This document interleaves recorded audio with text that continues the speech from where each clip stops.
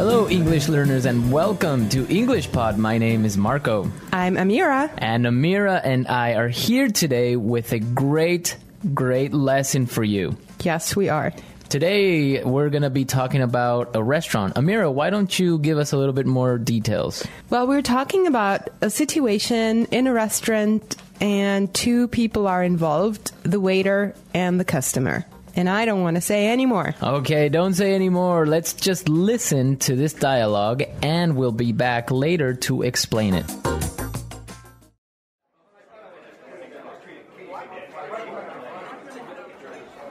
Good evening. My name is Fabio. I'll be your waiter for tonight. May I take your order? No, I'm still working on it. This menu's not even in English. What's good here? For you, sir, I would recommend spaghetti and meatballs. Does it come with Coke and fries? It comes with either soup or salad and a complimentary glass of wine, sir. Uh, I'll go with the spaghetti and meatballs, salad, and the wine. Excellent choice. Your order will be ready soon. How soon is soon? 20 minutes? You know what? I'll just go grab a burger across the street. Ma va un po', ma ti vieni in questo locale, mi fai tutte queste domande ancora? Ma va, va, pigliato. Uh oh, what a waiter. What a waiter. He is really angry at this customer, and I can't blame him. I would be angry too. yeah. So, I think, Marco, you have chosen some interesting expressions for us here. What is the first one? Well, the first one is I'm still working on it. I'm still working on it. I'm still working on it. I'm still working on it. Why don't we listen to some other examples on how you can use this word, and then we'll come back and explain it.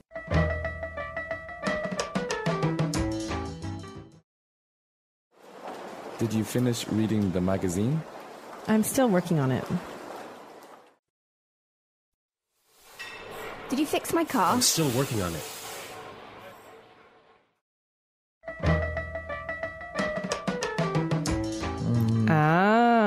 So you could say, I'm still working on it means I still need more time. fantastic. Great. Okay, it's clear.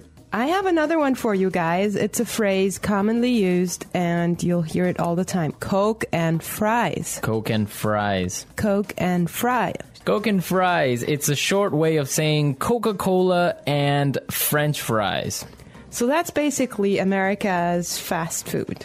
Yeah, burger, Coke, and fries. Okay. What's next on the menu? On the menu, we have a complimentary glass of wine. Complimentary glass of wine. Complimentary glass of wine. Complimentary means That it's free. free. Yes. We love that, huh? yeah, we definitely like free things. Well, um, I have another one for us here. Another interesting phrase. I'll go with. I'll go with. I'll go with. I'll go with. So basically, it's another way of saying I'm choosing. Yeah, I'll choose or I'll take. I'll take. Mm-hmm. Okay, very good. All right, the next word that I want to take a look at is grab. Grab. Grab. Grab. Okay, now let's listen to some other examples of how we could use grab in different situations, and then we'll come back and explain it.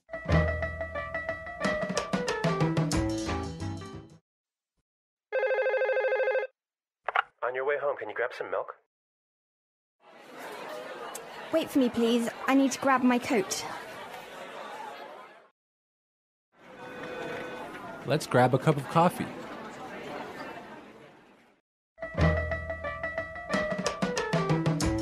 Right. Well, I would understand that go grab means go get quickly. To go get quickly, yeah. Yeah. All right, everyone. So now it's time to listen one more time to the dialogue and listen carefully and try to understand why the waiter doesn't like the customer. Let's listen.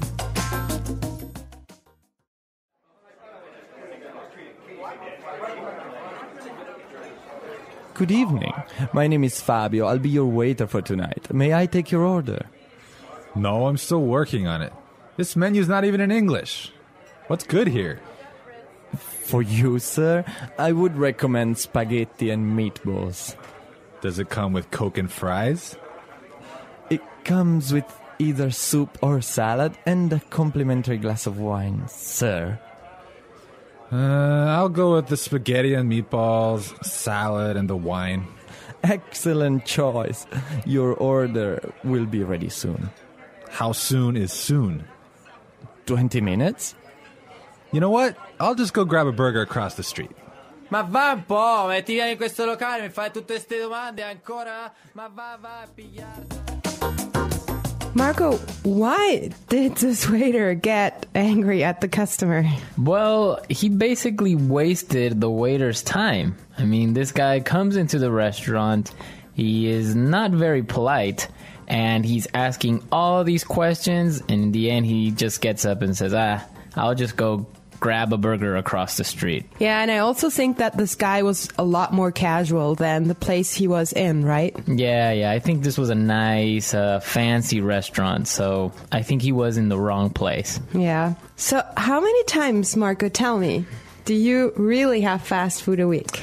Fast food. Let's see. Uh, Monday, Tuesday, Wednesday. No, I'm oh just my god. no, no. Um, I think I get fast food maybe once a week, once or twice a week. All right, talking about fast food made me hungry, so I think I'm gonna go grab something to eat myself. yeah, me too. All right. I hope you guys enjoyed the lesson today, and remember that all of this vocabulary is useful for your everyday needs. Yes. Well, actually, here in English We focus on phrases and words that are high frequency, and that means that you can use them every day in your practical life. Exactly. And be sure to go to our website at EnglishPod.com where you can find many other resources and you can leave your questions and comments at our community forum.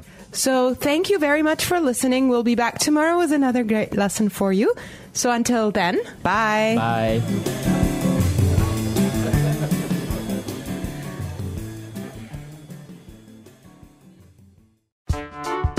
The English Pod Audio Review. Listen to the meaning, then say the vocabulary word. Not yet completed. Need more time. Still working on. Suggest. Would recommend. Free. Complimentary. To choose. Pick. Go with. To get quickly. Grab. Let's try that faster. Not yet completed. Need more time. Still working on. To get quickly. Grab. Suggest. Would recommend. To get quickly. Grab. To choose. Pick.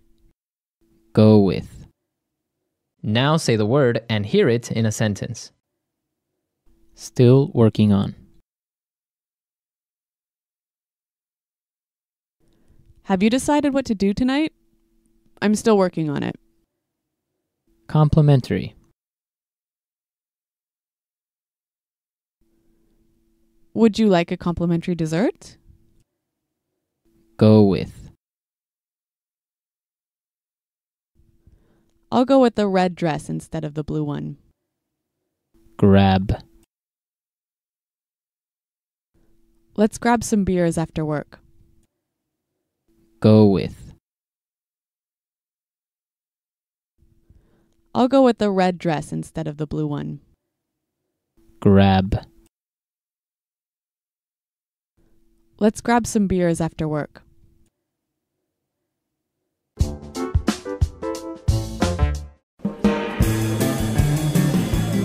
Hello, English learners, and welcome to English Pod. My name is Marco. I'm Amira. Amira and I are here today with another interesting and useful lesson for you English learners. Amira, why don't you explain a little bit of what this lesson is about today?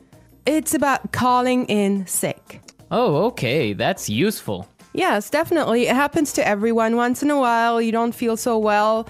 Um, or you feel well but you don't want to go to work. Right. so you call in sick. So- Okay, okay. Let's uh, listen to this dialogue, and I want everyone to keep their ears open and see if the boss believes this person. Let's listen.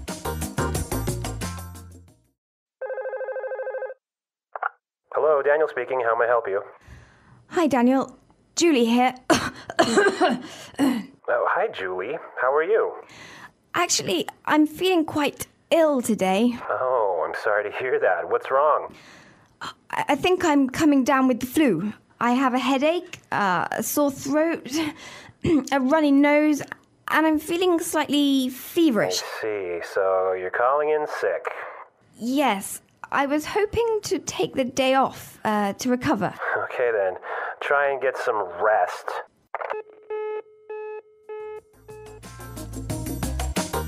Marco, do you think he believed her? No, I don't think he believed her. He didn't sound really convinced. yes, and Julie didn't sound really sick, huh? Exactly. Well, we have some really good vocabulary here. Amira, why don't you uh, begin with the first one? The first phrase I've chosen for you is a very, very useful one. I'm feeling quite ill today. I'm feeling quite ill today. I'm feeling quite ill today. All right, what does this mean exactly? It means that she's feeling sick. Oh, okay, that's clear. So she is sick. She's feeling sick. Okay, let's look at another really useful phrase, and this one is I'm coming down with the flu. I'm coming down with the flu. I'm coming down with the flu. I'm coming down with the flu. All right, and this phrase means that I am starting to get the flu or I am getting the flu. Okay. The next phrase I have for you is calling in sick. Calling in sick. Calling in sick. Calling in sick. It means calling your boss to tell him that you can't come to work today. I personally love this phrase because it saves so much time and explanations. Okay, perfect. So if I say this, then everyone will know that I am not coming to work today. Yes, definitely. Perfect. All right. And the last phrase that we're going to take a look at today is I was hoping to take the day off. I was hoping to take the day off. I was hoping to take the day off. I was hoping to take the day off. Right. And she says this to ask for permission because she does not want to go to work. Okay, now, couldn't she just say, like, I can't come today? Right. She could say, I can't come today, but that would be a little bit mm, impolite. Okay, so when she says, I was hoping to take the day off, it's a polite way of asking. It's a polite way. Exactly. Because she is talking to her boss. Very good. So let's listen to the dialogue one more time. The dialogue is a little different this time. Listen carefully and see if you think the boss believes her this time.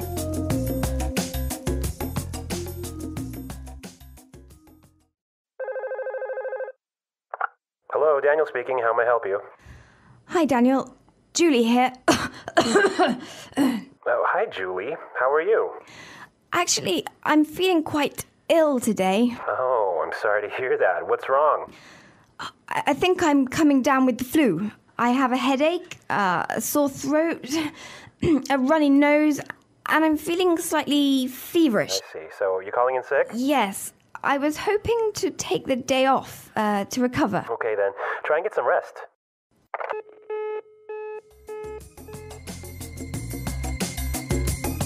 Okay, guys, we're back, and I do think he believed her this time. Yeah, I think he was understanding when he said, um, okay, then try and get some rest. Yeah, and and Julie sounded pretty sick. Yes, yes, she did. Yeah, it was it was convincing. Well, you know what? I almost called in sick last week. Really? Yeah, I wasn't feeling very well, and um, so I almost didn't come to work.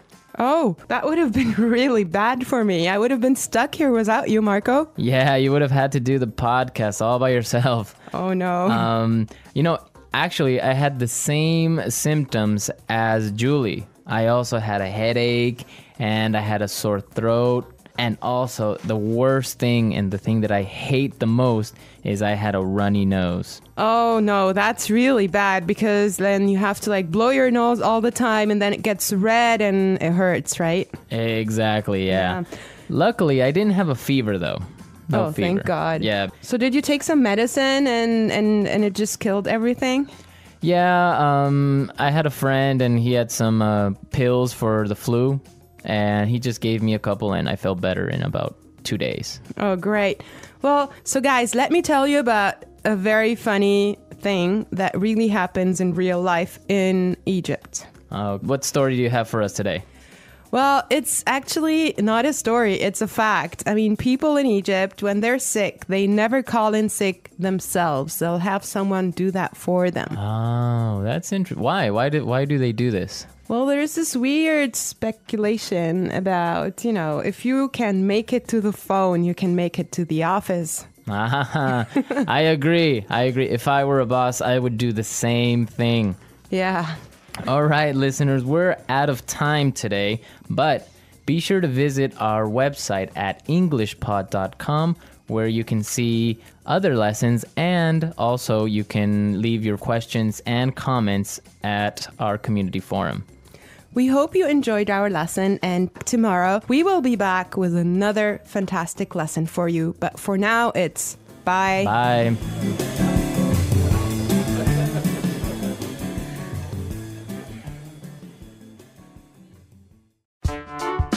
The English Pod Audio Review. Listen to the meaning, then say the vocabulary word. Polite offer to help. How may I help you? Very sick. Quite ill. Getting, acquiring. Coming down. Report that you will not go to work because you are sick. Calling in sick. To kindly expect. Was hoping. A sign, indication. Symptom. Allow. Permission. Impolite. Day off because you're sick. Sick day. Make it into work. Let's try that faster. Day off because you're sick. Sick day. Make it into work. Impolite. A sign, indication. Symptom. Allow. Permission. Polite offer to help. How may I help you? To kindly expect. Was hoping. Getting, acquiring. Coming down. Very sick. Quite ill. Report that you will not go to work because you are sick. Calling in sick. Now say the word and hear it in a sentence.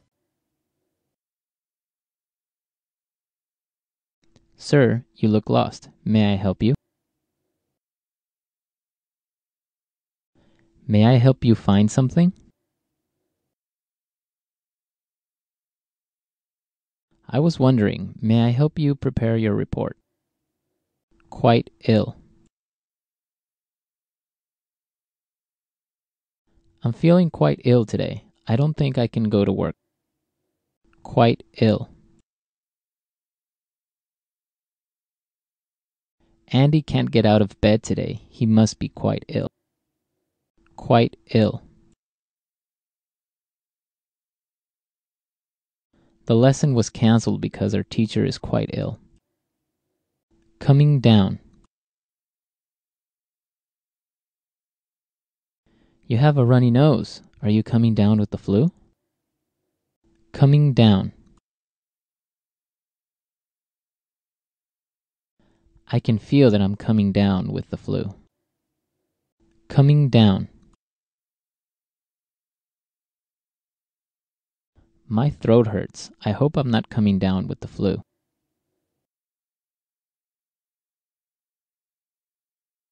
Our meeting was postponed because my client called in sick.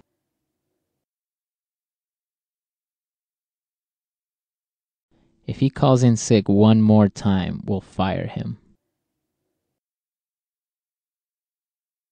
I almost called in sick today. Was hoping. We were hoping to meet with you after lunch. Was hoping. I was hoping to borrow your car this weekend. Was hoping.